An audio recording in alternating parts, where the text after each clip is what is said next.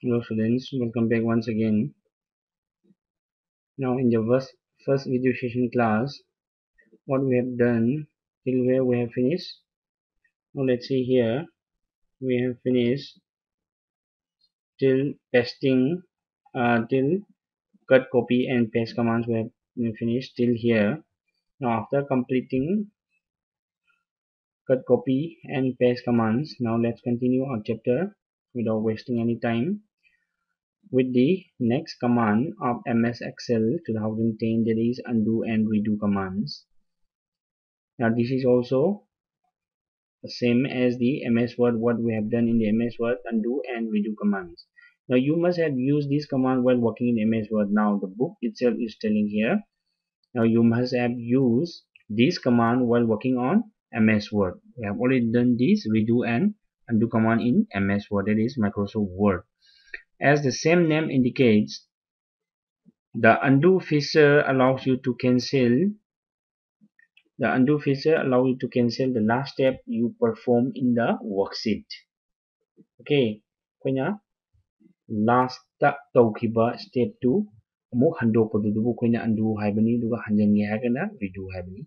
For example, while entering the names of the students, if the record of a student is deleted by mistake eh, but okay while entering the names of a student and eh, while entering the name of some students or entering the name of a class if by default you deleted a student name and details what you can do is you can just use the undo command. Okay the deletion can be undone. Whatever you have deleted can be undone by using the undo feature. Okay? By using the undo feature. Now just click on the undo command on the quick access toolbar. Okay? Here it is shown here in figure number 9 here. You can see here this is the undo command and this is the redo command. Okay? You can see this on the quick access toolbar. The opposite of undo is redo. Whatever you undo it you can redo it by using the redo command. To redo the last action click on the redo command on the quick access toolbar. This redo command also you can get on the quick access toolbar. Okay undo and redo commands. I guess i'm just explaining you but i guess you have already know these two commands as we have already learned in ms word also now which command which excel command will you use to do the following. Now to un undo the last action performed you use the undo command. And redo the last action performed you use the redo command. Now add more text to an already filled up cell. Add more text. If you want to add more cells just we have done in the uh, previous class in the first video session class i have told you if you want to edit suppose you have written a number 24 and you have to add three more digits. That is 2 4 2 3 4 like this. What you have to do you have to just you can double click on the cell or either you can click on the cell and press f2 from the keyboard. Like this you can add more text on the already filled up cell and move cell from one position to another. Here you can use the cut command from the cut copy paste command you can use the cut command to move from one position to another. Redo the last action we use the redo command. Now inserting cell rows and column. How you can insert rows uh, cells and columns? Now you can see here. To insert cell rows and columns in a worksheet follow the steps given below here. Select the cell click on the home tab. You have to click on the home tab. Then in the home tab you have to go to the cells group click on the insert row. You go on the cells group and you have to click on the insert arrow. This is the insert arrow okay? And select the insert cells from the insert arrow you have to click you have to select the insert cells here. Then I've shown in figure number 10a here the insert dialog box appears showing four options. Now this is the four option given here with a radio button. Okay radio button means what? You can select either of these any one you can select. Showing the shift cells right shift cells down entire row entire column. You want to insert an entire row or entire column or you want to shift the selected cells down or the cells up. You can or to the right. You can choose the option from here here it is selected as shift cells down. Will bring the cells down okay? You can just press ok then. Now these are the options and these are the descriptions. Shift cell right. If you want to shift cells right move the selected cell to the right and insert a new cell shift cells right means what? The meaning of this shift cells right means move the selected cell. Whatever cell you have to you, you just selected will be moved to the right and insert a new cell. And the meaning of this shift cells down means moves down the selected cell. The selected cell will moves down and insert a new cell. An entire row means moves down the entire row containing the selected cell and inserts a new row. We will move down the entire row containing the selected cell and inserts a new row. Then entire column means moves down the entire column containing the selected cell to the right and inserts a new column. This is the meaning of these four options given here in the insert. Okay, in the insert, shift cells right, shift cells down, entire row, entire column. The meaning of this is shift cells right. That means it moves the selected cell to the right and insert a new cell. And shift cells down means it moves down the cell, selected cell. It will move down the selected cell and insert a new cell. Entire row means it moves down the entire row containing the selected cell and moves and inserts a new row. And entire column means it moves down the entire column containing the selected cell to the right and inserts a new column. Then after that, the next step is select one of the four options depending on your requirement. According to our requirement, we have to select from the four options. We have to select any one according to our requirement. Then click OK to insert cells, rows or columns. That's it. Okay. Now try insert. Try to insert a row or a column in a worksheet. In a worksheet, you can open if you have computer at home you can try this at home to insert row, to insert column in a worksheet. Now deleting cell rows and columns. Now we have already, I have just told you how to insert cell rows and columns. Now after knowing how to insert, now let's see what are the steps to delete cells, rows and columns. ꯑꯩꯈꯣꯏ ꯍꯧꯖꯤꯛ ꯀꯃꯥꯏꯅ ꯍꯥꯞꯆꯜꯂꯤ ꯁꯦꯜ ꯀꯃꯥꯏꯅ ꯍꯥꯞꯄꯤ ꯔꯣ ꯀꯃꯥꯏꯅ ꯍꯥꯞꯄꯤ column ꯀꯃꯥꯏꯅ ꯍꯥꯞꯄꯤ ꯈꯪꯉꯕꯅꯤꯅ ꯑꯗꯨꯒꯤ ꯃꯇꯨꯡꯗ ꯑꯩꯈꯣꯏ ꯍꯥꯞꯄ ꯈꯪꯉꯕꯅꯤꯅ ꯑꯩꯈꯣꯏ ꯑꯗꯨ ꯍꯥꯞꯄꯤ ꯄꯣꯠꯇꯨ ꯍꯌꯦꯡ ꯗꯤꯂꯤꯠ ꯇꯧꯅꯤꯡꯉꯒꯗꯤ ꯗꯤꯂꯤꯠ ꯀꯃꯥꯏꯅ ꯇꯧꯅꯤ ꯍꯥꯏꯕꯗꯨ ꯑꯃꯨꯛ ꯌꯦꯡꯉꯁꯤ now to delete cell or rows and columns the follow the steps given below select the cell click on the home tab in the cells group like in the uh, insert cells and rows column you have to go to the home then the cell group then instead of going to the insert now first of all we go to this insert for inserting for but now what you want to do you want to delete it. So you have to go to this delete option. The delete arrow down you have to click on the delete arrow down and then select the deleted delete cells given in figure number 11 here. The delete the drop drop down menu here. Now it is given the same options here. Shift cells left shift cells up entire row entire column. Okay the delete dialog box appears showing the four options now what are the meaning? Okay what are the meaning for these four options? Now let's see here. Shift cells left means is the selected cell. It will delete the selected cell and moves the cells on the right of the selected cell towards left. And what is the meaning of shift cells up? Delete the selected it will delete the selected cell and move the cells below the selected cell upwards. Entire row means delete the entire row containing the selected cell. Now containing the selected cell it will delete the entire row and containing the selected cell it will delete the entire column. Okay, after that the fourth the um, fourth step is to select one of the four options given here like we have done for the insert of insert inserting cells columns and rows also. We have given four options now. For deleting also you have four options. Now you can select any one of these according to your requirement. Then after that click ok to delete the cells or rows or columns. Resizing rows and columns. Now you can resize the cell. You can resize the cell according to your requirement but the default height of a row is 15.00 and default width of a column is 8.43 this is the default. Now you can underline this from here to here the first line. You can underline this here. The default height of a row is 15.00 and the default width of a column is 8.43 now in the, this also I may ask in the exam for one mark. Okay. In a one mark or a one word question like what is the default height of a row?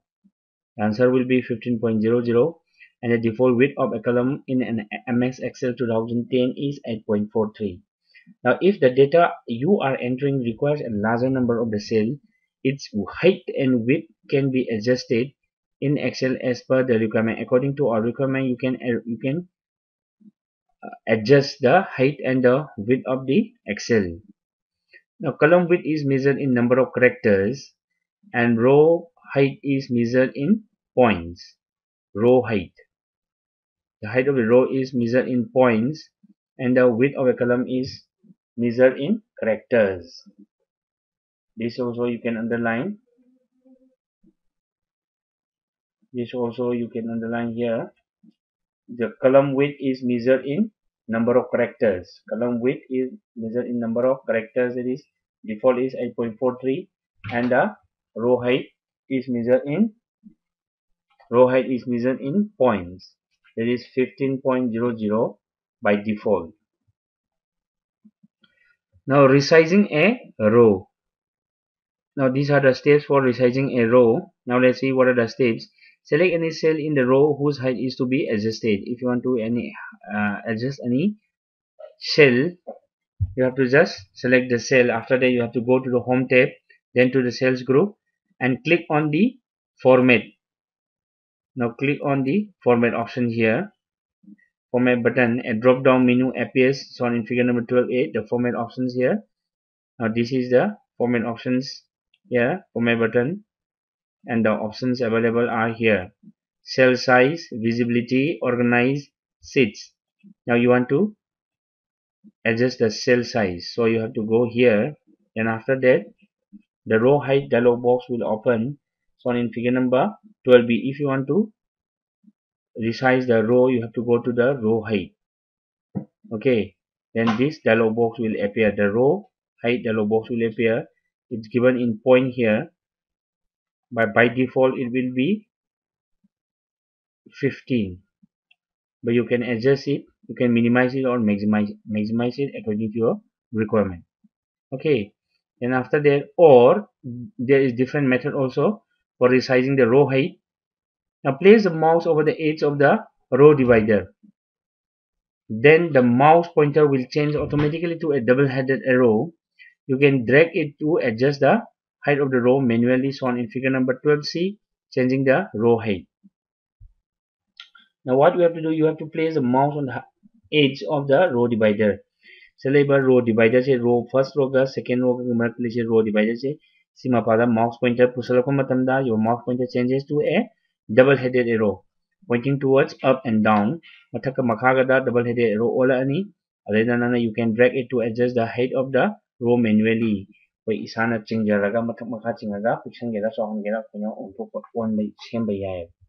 okay. Now resizing the column also same. You have to go to the home tab cells group format button. And after that you have to go to the instead of going to the here instead of going instead of going to the row height you have to go for column width.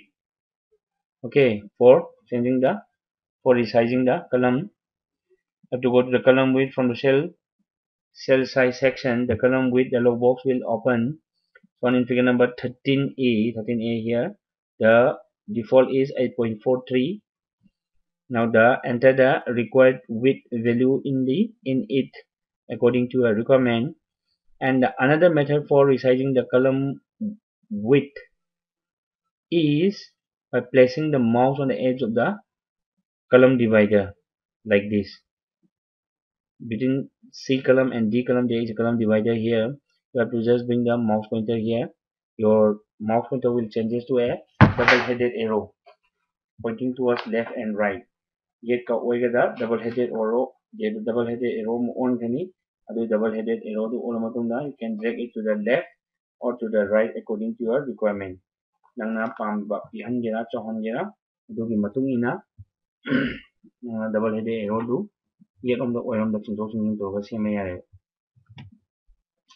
now if the content of the cell go beyond the width of the column you can also double click in the double click in between the two columns headings.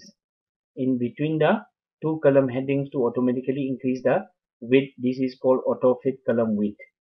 Ida chandragadi nangi sigi column ani sigi marak se double click to matam da matha matam automatically sigi auto fit column width ai je और matum da increase siang gine ne channa bida mota the contents of the cell you won't go beyond the width of the column and ragadi you can also double click in between the two columns column ani marakta double click to matamda matha matamda column headings to automatically increase to gine aduga mana udaba mayek sindu uwa phangane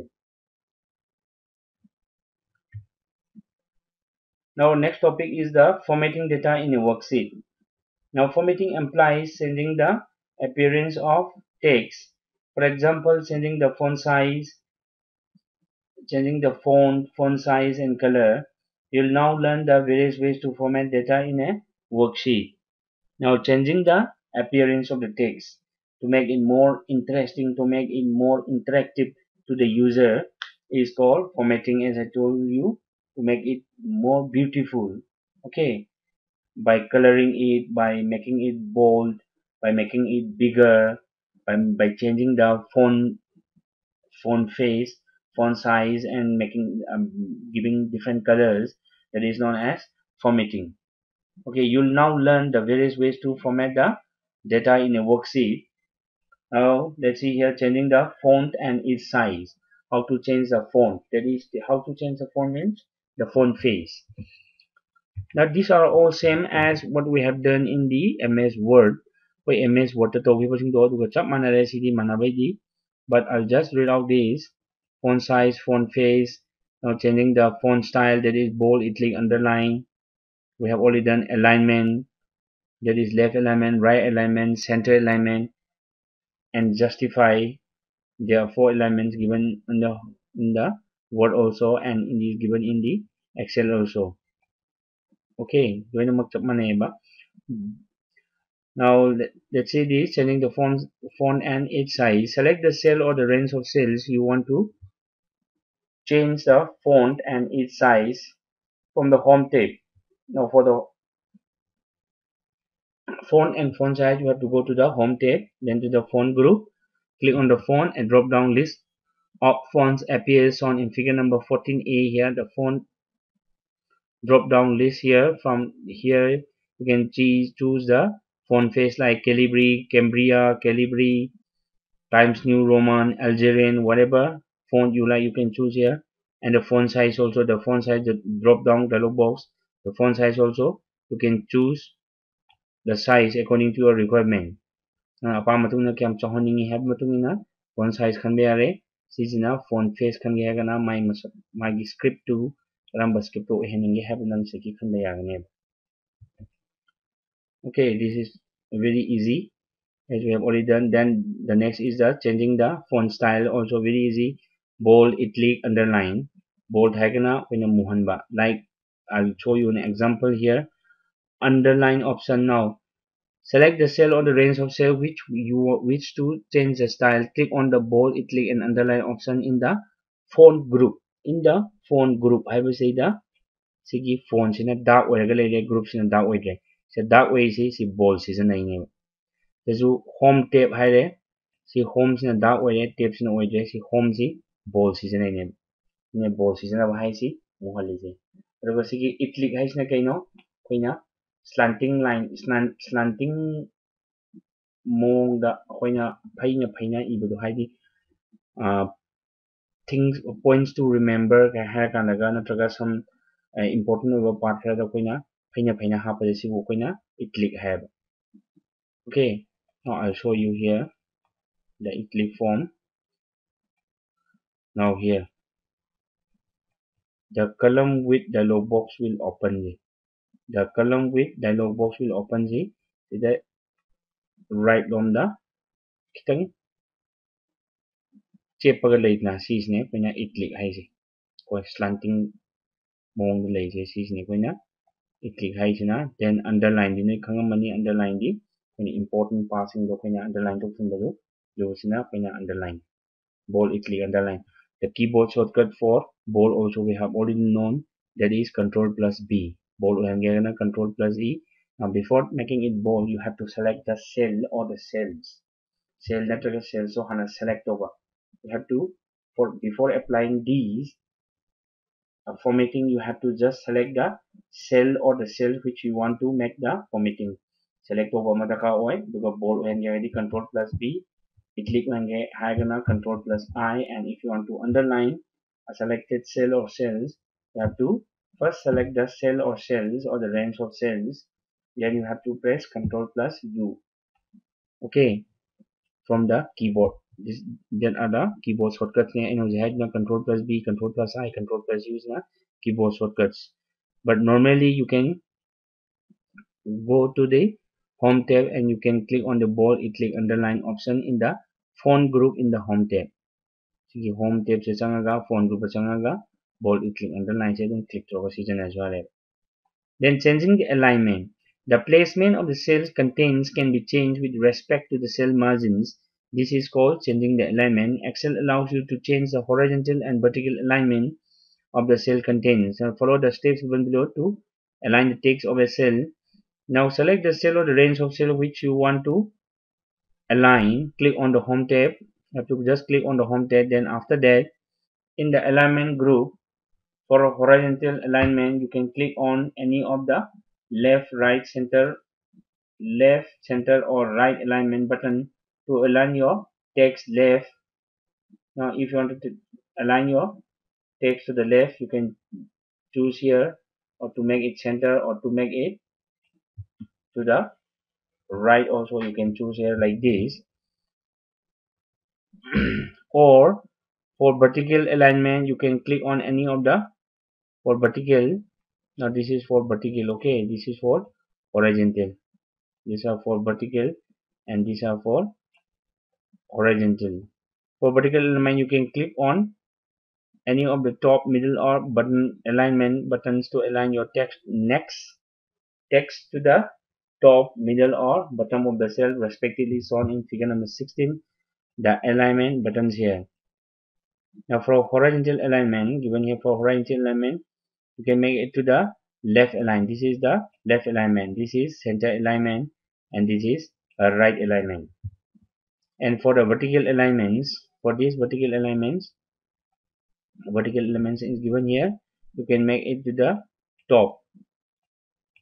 This one then next is the middle that is this one and next is the bottom of the cell that is this one the third option.